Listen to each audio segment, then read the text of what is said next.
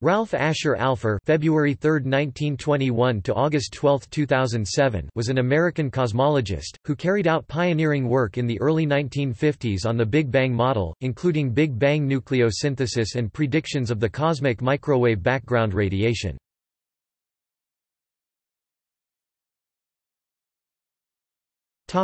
Childhood and education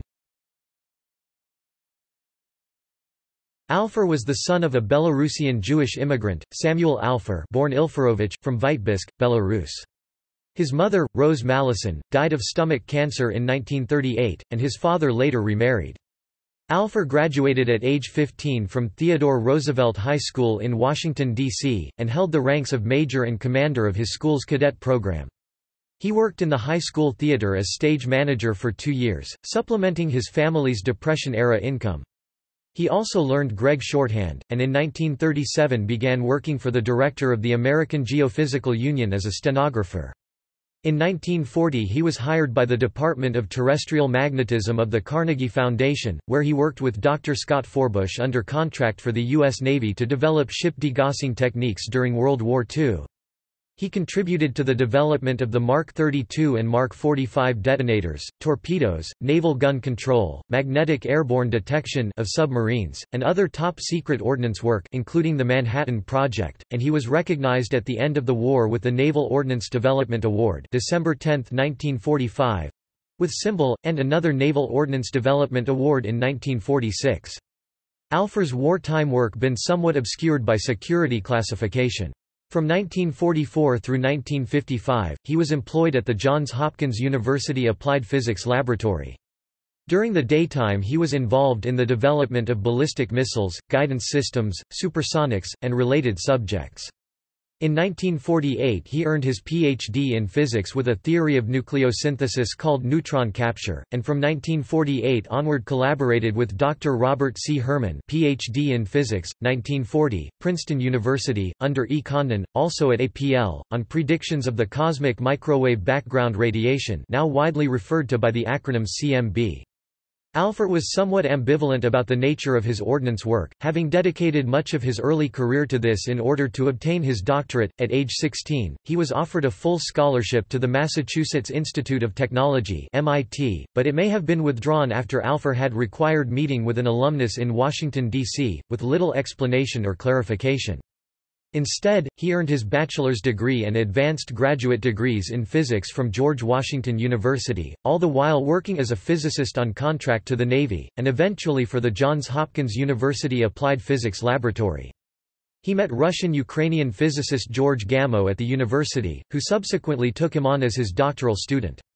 This was somewhat of a coup, as Gamow was a prominent Soviet defector and one of the luminaries on the GWU faculty.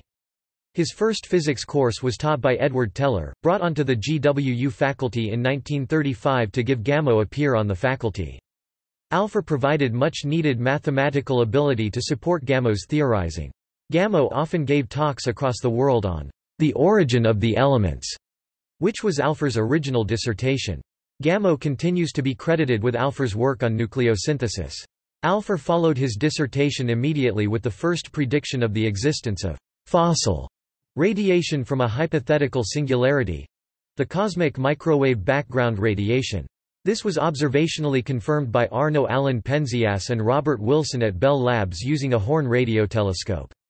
Further research has shown other observations made, but not interpreted cosmologically. They were awarded the Nobel Prize in Physics for the observation in 1978. Ironically a group at Princeton was given credit for making a cosmological interpretation in an inflationary universe Big Bang in a companion publication in 1965 to Penzias and Wilson, which is incorrect. While attending GWU, Alpher met Louise Ellen Simons, who was majoring in psychology at night school and working as a day secretary with the State Department. Nearly two months after the attack on Pearl Harbor, Alpher and Louise were married. At this time he had already done classified work for the U.S. Navy through the Carnegie Institution for nearly one and a half years. During a hiatus in his scientific work in early 1944, he did apply to the Navy for a commission, for which he was eligible. By this time he had done so much classified and secret work he was no longer subject to the draft along with about 7,000 others, and prohibited from enlistment. That summer, he signed on to the Johns Hopkins University Applied Physics Laboratory to work on another classified project—a new magnetic influence torpedo exploder. This was badly needed since the Mark 14 torpedo, which had a poorly tested exploder that had its magnetic component turned off by order of the Chief of Naval Operations in late 1943, was badly in need of replacement vs. Alpher, The Submarine Review, October, 2009.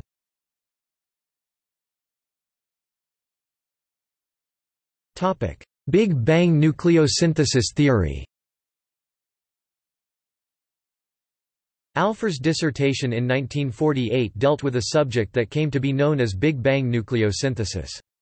The Big Bang is a term coined initially in derision by Fred Hoyle on BBC Radio in 1950 to describe the cosmological model of the universe as expanding into its current state from a primordial condition of enormous density and temperature. Nucleosynthesis is the explanation of how more complex elements are created out of simple elements in the moments following the Big Bang. Right after the Big Bang, when the temperature was extremely high, if any nuclear particles, such as neutrons and protons, became bound together being held together by the attractive nuclear force they would be immediately broken apart by the high-energy photons quanta of light present in high density. In other words, at this extremely high temperature, the photon's kinetic energy would overwhelm the binding energy of the strong nuclear force. For example, if a proton and a neutron became bound together forming deuterium, it would be immediately broken apart by a high-energy photon. However, as time progressed, the universe expanded and cooled and the average energy of the photons decreased. At some point, roughly one second after the Big Bang, the attractive force of nuclear attraction would begin to win out over the lower energy photons and neutrons and protons would begin to form stable deuterium nuclei. As the universe continued to expand and cool, additional nuclear particles would bind with these light nuclei, building up heavier elements such as helium, etc. Alpher argued that the Big Bang would create hydrogen, helium and heavier elements in the correct proportions to explain their abundance in the early universe. Alpher and Gamow's theory originally proposed that all atomic nuclei are produced by the successive capture of neutrons, one mass unit at a time. However, later studies challenged the universality of the successive capture theory, since no element was found to have a stable isotope with an atomic mass of 5 or 8, hindering the production of elements beyond helium. It was eventually recognized that most of the heavy elements observed in the present universe are the result of stellar nucleosynthesis in stars, a theory largely developed by Hans Bethe, William Fowler and Subrahmanyan Chandrasekhar. Bethe had been a last-minute addition to Alpher's dissertation examining committee. Since Alpher's dissertation was perceived to be groundbreaking, over 300 people attended the dissertation defense, including the press, and articles about his predictions and a Herblock cartoon appeared in major newspapers. This was quite unusual for a doctoral dissertation. Later the same year, collaborating with Robert Herman, Alpher predicted the temperature of the residual radiation known as cosmic microwave background radiation resulting from the hypothesized Big Bang. However, Alpher's predictions concerning the cosmic background radiation were more or less forgotten until they were rediscovered by Robert Dicke and Yakov Zeldovich in the early 1960s. The existence of the cosmic background radiation and its temperature were measured experimentally in 1964 by two physicists working for Bell Laboratories in New Jersey, Arno Penzias and Robert Wilson, who were awarded the Nobel Prize in Physics for this work in 1978. Elements of Alpher's independent dissertation were first published on April 1, 1948 in the Physical Review with three authors, Alpher, Hans Bethe and Gamow. Although his name appears on the paper, Bethe had no direct part in the development of the theory, although he later worked on related topics. Gamow added his name to make the author list Alpher, Bethe, Gamow, a pun on alpha, beta, gamma alpha, beta, gamma, the first three letters of the Greek alphabet. Gamow joked that there was, however, a rumor that later, when the alpha, beta, gamma theory went temporarily on the rocks, Bethe seriously considered changing his name to Zacharias. When referring to Robert Herman he wrote, R. C. Herman, who stubbornly refuses to change his name to Delter. Alpher worried that the humor engendered by Gamow may have obscured his own critical role in developing the theory. With the award of the 2005 National Medal of Science, Alpher's original work on nucleosynthesis and the cosmic microwave background radiation prediction was recognized. Neil deGrasse Tyson was instrumental in a NSF committee recommendation personal communication to Dr. Victor S. Alpher, July 26, 2007. Alpher and Robert Herman were awarded the Henry Draper Medal from the National Academy of Sciences in 1993. They were also awarded the Magellanic Premium of the American Philosophical Society in 1975, the Georges Vanderlinden Physics Prize of the Belgian Academy of Sciences, as well as significant awards of the New York Academy of Sciences and the Franklin Institute of Philadelphia. Two Nobel Prizes in Physics have been awarded for empirical work related to the cosmic background radiation, in 1978 to Arno Penzias and Robert Wilson and in 2006 to John Mather and George Smoot. Alpher and Herman the latter, posthumously published their own account of their work in cosmology in 2001, Genesis of the Big Bang Oxford University Press. Published as a trade book, it received little promotion or sales in the first edition.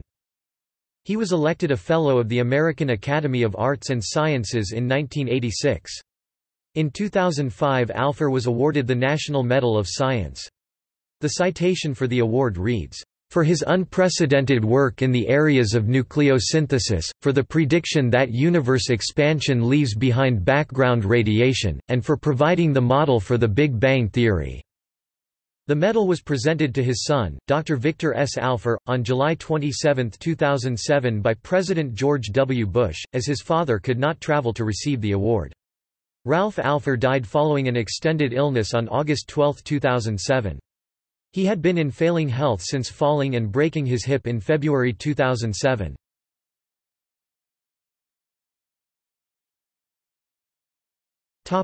Later career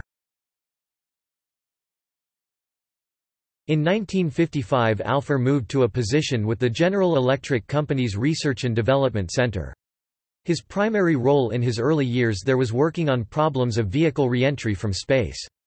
During the late 1940s at the Applied Physics Laboratory at Johns Hopkins University, he worked as a member of John Van Allen's work group, studying cosmic rays with high-altitude balloons. In 1955, both Alpher and Herman applied for positions at Iowa, where Van Allen was now department chair, however, the salaries in academia were simply too low to support families. Alpher also continued to collaborate with Robert Herman, who had moved to the General Motors Research Laboratory, on problems in cosmology. The cosmic microwave background radiation was finally confirmed in 1964, although in retrospect many other astronomers and radio astronomers probably observed it without recognizing the cosmological significance. From 1987 to 2004 he served as Distinguished Research Professor of Physics and Astronomy at Union College in Schenectady, New York, during which time he was able to return to research and teaching. During all this time he continued to publish major peer-reviewed scientific papers and was active in community service for public broadcasting. Alpher was also 1987 director of the Dudley Observatory. In 1986 he was recognized with the Distinguished Alumnus Achievement Award of the George Washington University. All of his degrees were achieved by studying at night whilst working for the Navy and Johns Hopkins Applied Physics Laboratory during the daytime. In 2004 he joined the Emeritus faculty at Union and was Emeritus Director of Dudley. He also received honorary Doctor of Science degrees from Union College and the Rensselaer Polytechnic Institute. From 2005 until his death, he remained Emeritus Director of the Dudley Observatory and Emeritus Distinguished Professor of Physics and Astronomy at Union College, Schenectady.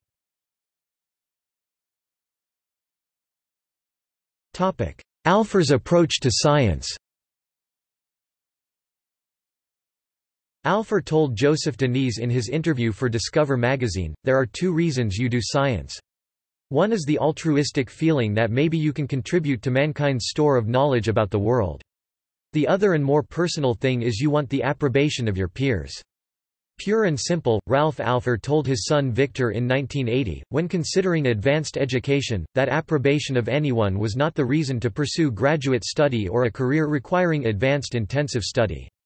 Rather, he said to Victor, you must enjoy and find satisfaction in the work you do every day, because you will not receive frequent rewards or pats on the back." Up to that time, he had received only three awards for his work in cosmology, from the American Philosophical Society, the Belgian Academy of Science, and the Franklin Institute—all occurring after he turned 50.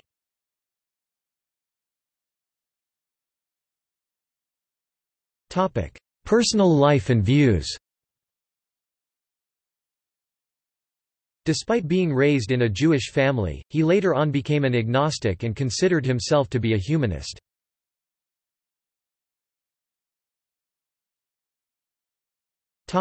See also. List of Jewish American physicists. Nobel Prize controversies